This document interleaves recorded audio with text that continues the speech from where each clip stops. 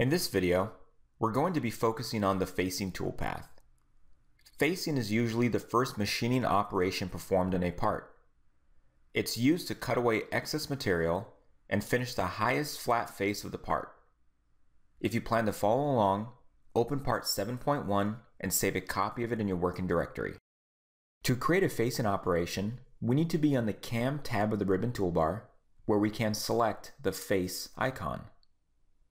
The first thing we need to do is define a tool for our facing operation.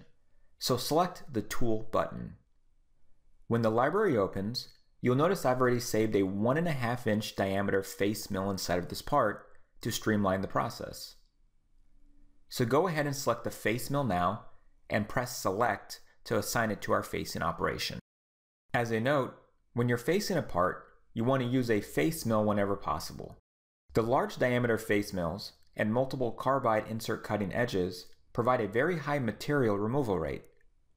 However, because face mills don't plunge well, we want to make sure that the tool path starts far enough away from the part so the tool doesn't plunge into the stock material. Thankfully, you will find that the facing toolpath takes this into consideration. Now, with our tool selected, our speeds and feeds are set by default. At this point, we're going to accept our facing toolpath and allow it to be generated. We can begin by looking at what the facing toolpath does. If you look down onto the top of the part, we can see the facing operation is plunging off the part and moving back and forth off the part. Similarly to how you would mow your lawn to remove all the material. Looking at the front of the part, the toolpath is machining down to the top face of the part.